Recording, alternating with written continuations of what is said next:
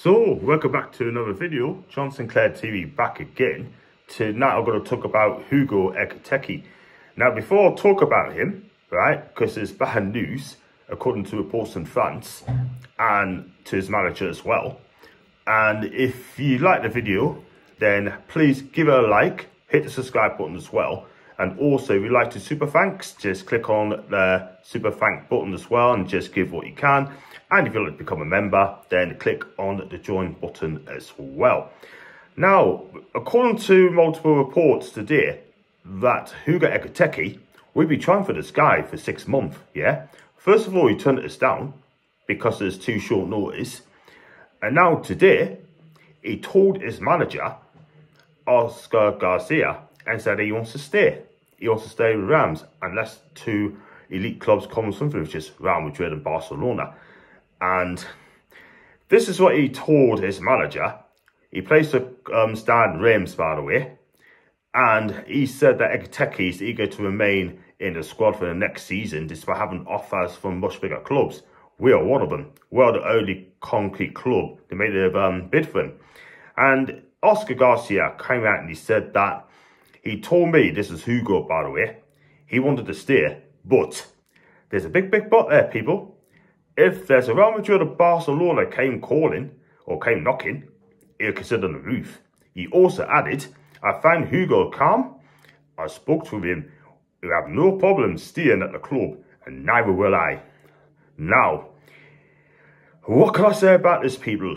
I mean, Hugo Ekitike wanted to come to Newcastle a couple of weeks ago, as recent as last week, but his agent has been messing them about, yeah, holding back to the dream move if you call it a dream move to Newcastle United, yeah, everything's ready to go.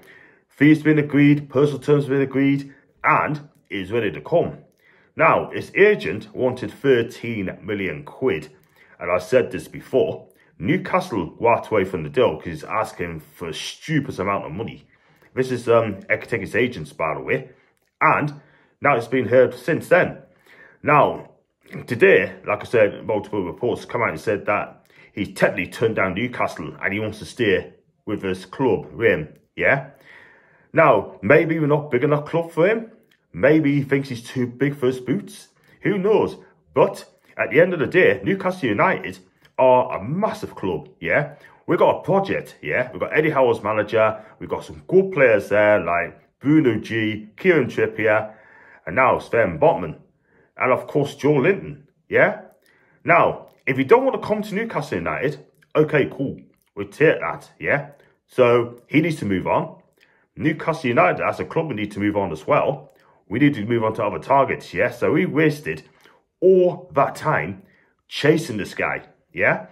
And it is an absolute joke, yeah? Now, I said before, don't blame Hugo for this. Blame his agent, yeah? And I'm still not going to blame him as well because he's got a decision to make. The guy's only 20 years old. He might be thinking, oh, hang on a minute. It's too early for my career. I want to stay in France and develop more for him, yeah? I can understand this. But at the end of the day, right? What I don't agree with, when he comes out and said that if the two big clubs in Spain want him, it's a different kettle of fish. So that's very disrespectful to Newcastle United, yeah? Because like I said, we're a project club. And we're doing bigger things now. We are aiming to aim high.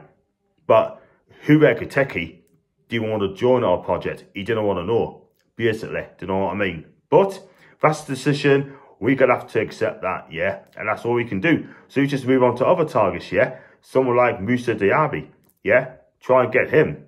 I'd love him to come to Newcastle United, yeah? And if we can get him on the right-hand side of midfield, what a team we have but we definitely need another striker on top as well. If we can get that in, that'd be fantastic. So, guys, tell us what you think. Do you think Newcastle are right to just walk away from Hugo Ekitike? Do you think he's right to turn us down? Do you also think as well it's too early to come to Newcastle United?